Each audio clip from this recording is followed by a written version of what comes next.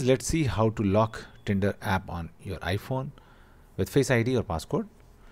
So for that what you need you need shortcuts app just search shortcuts app and tap on shortcut apps to open it. This is a free app from Apple if it is not on your iPhone you can install it also but 99% chances is that this is there in your iPhone. Now open it. Now look at the bottom there is an automation tab tap on it now tap on create personal automation.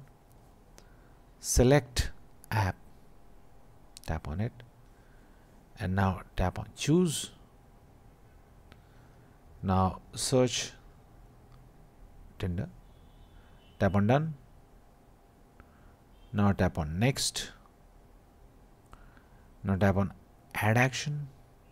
Tap on lock screen. Sorry, search and lock screen Select the first search result, lock the screen, tap on next, just turn off ask before running, choose don't ask. Tap on done and you are good to go. Your face ID lock has been done.